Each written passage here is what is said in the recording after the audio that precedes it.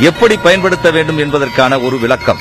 Centre மீடியனில் இருந்து இதை நான்கு டிராக்குகளாக பிரித்துக் கொள்ளலாம். உதாரணத்திற்கு சென்டர் மீடியனை ஒட்டி இருக்கும் இந்த பாதையை முதல் டிராக் என்று எடுத்துக்கொள்வோம். இது சுமார் ஐம்பது மீட்டர் மட்டும் உள்ளது. இது எதற்கு என்றால் வலது பக்கமாக திரும்பக்கூடிய வாகனங்களுக்காக போடப்பட்ட பாதையாகும். இந்த பாதையில் நேராக செல்லும் வாகனங்கள் வரக்கூடாது. வலதுபுறமாக திரும்பும் வாகனங்கள் இந்த பாதையை சுமார் ஐம்பது மீட்டருக்கு முன்பே வலது பக்கமாக ஒட்டி வர வேண்டும். அடுத்ததாக இரண்டாவது டிராக்கை பற்றி தெரிந்து கொள்வோம். இந்த பாதை எப்பொழுதுமே ஃப்ரீயாக இருக்க வேண்டும். ஏனென்றால் மூன்றாவது டிராக்கில் வரக்கூடிய எந்த வாகனமாக இருந்தாலும் ஓவர்டேக் செய்ய இந்த இரண்டாவது டிராக்கை தான் பயன்படுத்திக் கொள்ள வேண்டும்.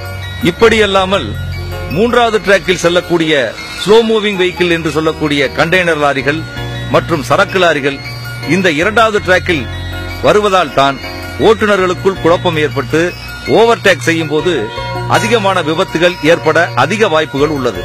ஆகவே இரண்டாவது டிராக் ஓவர் டிராக் செய்வதற்கு மட்டுமே இருக்குமேயானால் கண்டிப்பாக விபத்துகள் ஏற்படுவதை தடுக்கலாம். இப்பொழுது மூன்றாவது டிராக்கை பற்றி தெரிந்து கொள்வோம். இந்த மூன்றாவது டிராக் மிகவும் முக்கியமானது. ஏனென்றால் இரண்டு சக்கர வாகனங்களை தவிர மற்ற அனைத்து வாகனங்களும் இந்த டிராக்கில் தான் செல்ல வேண்டும். ஓவர் டேக் செய்ய மட்டுமே இரண்டாவது டிராக்கை பயன்படுத்திக் கொள்ள வேண்டும். அவ்வாறு ஓவர் டேக் செய்த பிறகு மீண்டும் இந்த மூன்றாவது டிராக்குக்கு வந்துவிட வேண்டும். அடுத்தது நான்காவது டிராக்கை பற்றி தெரிந்து கொள்வோம். இது சுமார் ஐந்து அடி மட்டுமே அகலம் கொண்ட பாதையாகும். இதில் இரண்டு சக்கர வாகனங்கள் மற்றும் மிதிவண்டிகள் செல்ல வேண்டும். அடுத்ததாக நாம் பார்க்க இருப்பது தேசிய நெடுஞ்சாலையை இணைக்கும் கிராமப்புற சாலை. இங்கு இருக்கும் வி பெண்டுக்கு முன்னால் ஒரு வேகத்தடை ஒன்று இருக்கும்.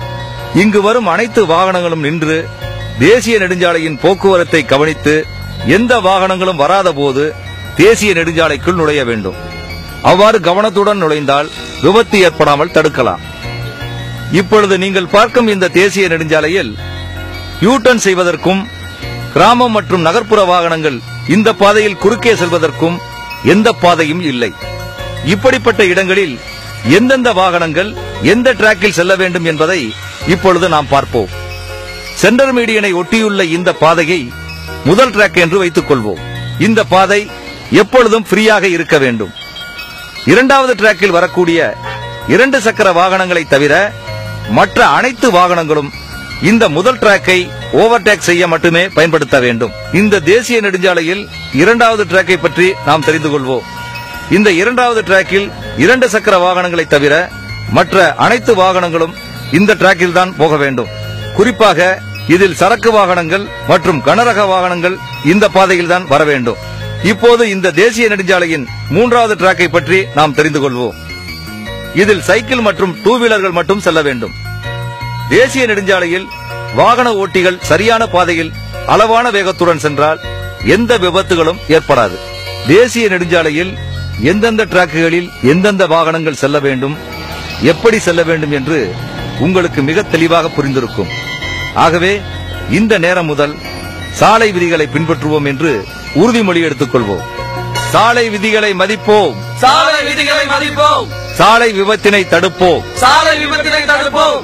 சாலை விதிகளை மதிப்போம். சாலை விதிகளை மதிப்போம். சாலை விபத்தினை தடுப்போம். சாலை விபத்தினை தடுப்போம்.